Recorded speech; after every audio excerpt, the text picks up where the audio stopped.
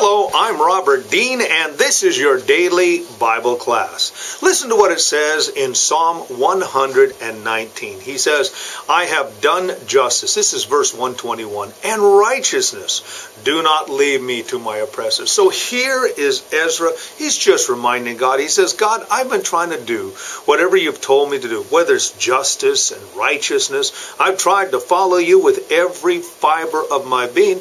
I've made a decision that my lifestyle choice is the Lord.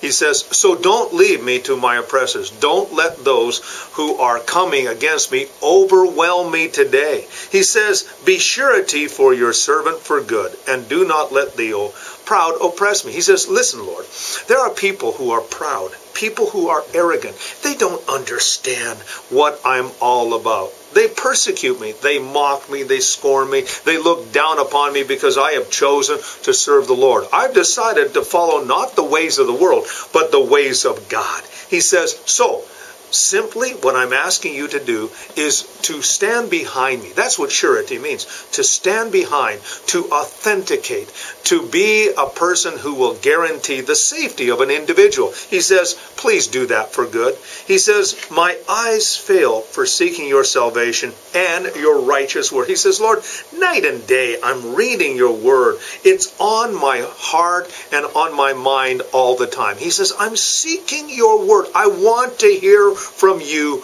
today. And that's what the Word of God is really all about.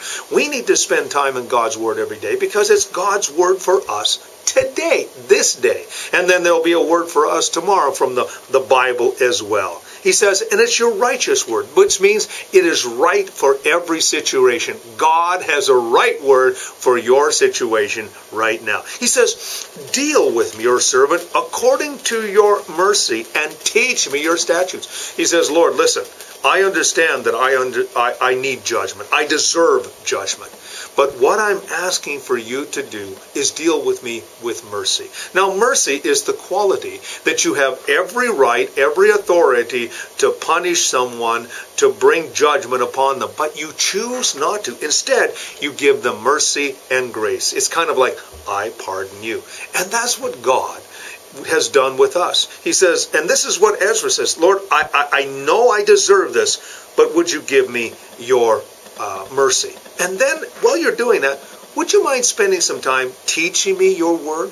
You see, the Holy Spirit found, uh, Jesus talked about the Holy Spirit in John chapter 14 and 16. He says, He's going to take that which He hears and passes unto us. So today, you have a guarantee that the Holy Spirit, who's the great teacher, is going to teach you the Word of God as well. He says, Lord, I am your servant.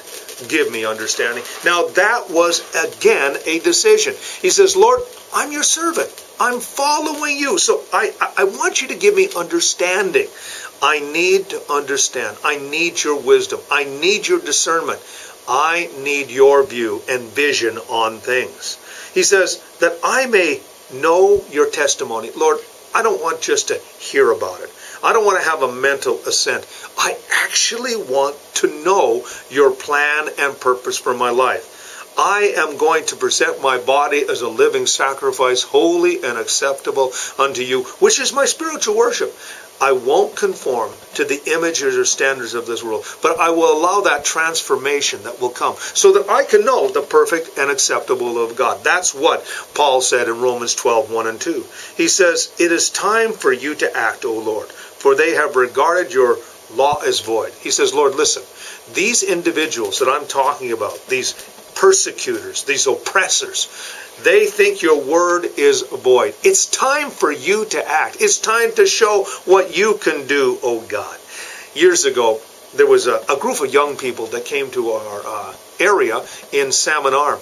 And they were ministering down by the Salmon Arm dock. And there was a bunch of young people standing there. And they said, God isn't real. And one of the young people, who was about 15 or 16, says, I will show you that God is real. Now, all the kids around going, Oh, be careful. Well, that young man laid hands upon that other young person, and the power of God hit that young person, and they fell over right in front of about a hundred young people. And they couldn't get up. They just couldn't get up. And they said, what happened to him? He says, the power of God hit. Does anybody else want the power of God to hit him? Well, that little group of young people all of a sudden knew that the power of God was real. Now, that doesn't always happen. In fact, it rarely happens. But sometimes God does that when we stand up for him. He says, Therefore I love your commandments more than gold, yes, even fine gold. He says, Lord, I love your word. It's more precious than the finest gold, the precious diamonds. I have one of my men in the church uh, that is. Uh, he's a, uh, one of the leaders, one of the uh, main people in a diamond mine. And diamonds are worth, are the world's greatest and most expensive currency. They're hard currency. And, uh, and so, uh, you know, they run so much a carat. And you know what? They are precious. But the Word of God is even more precious than any diamond. Therefore, all your precepts concerning all things. He says, listen this. Lord, all your precepts and all the things that you teach, I consider right I hate every false way. He says, Lord, listen, I understand that there are things that are right and there are things that are wrong. And those things which are wrong, he says, I hate. I know that they're wrong and they're not they're not good for me. So Lord, I'm choosing today to consider all the right things. And your word is right. And I love your word. And I need your word in my life and situation every day. I trust that that's how you feel about God's word as well. My name is Robert Dean Steel. This is your daily Bible class. You have yourself a great and godly day.